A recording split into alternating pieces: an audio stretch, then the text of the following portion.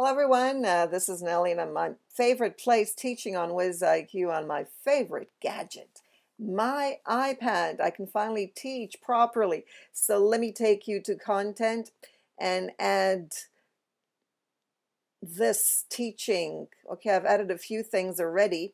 Okay, make sure that it's there. Go back. Okay, and uh, there's the, uh, okay, here's some music okay on my can you hear that? okay so let's stop it and get rid of it. Okay and we're going to there there's the PowerPoint presentation teaching languages. There are lots of others as you can see. I'm going to add there. Do you see that? These are my tools. Okay I can get different colors Sorry, my finger getting in there out of the way, but that's what it is. The iPad is about getting your fingers.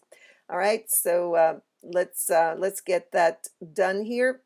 Okay, we can get a pencil here and we can write different things, okay, in different there.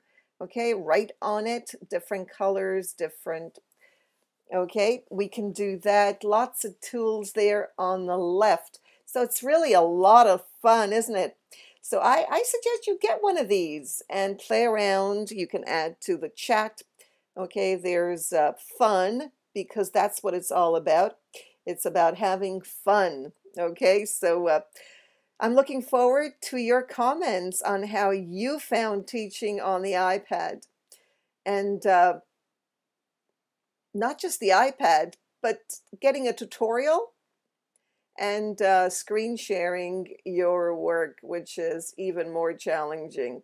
So uh, thank you so much for allowing me to come into your houses and your places where you are so that I can share this video with you. So thank you so much, everyone. Bye for now.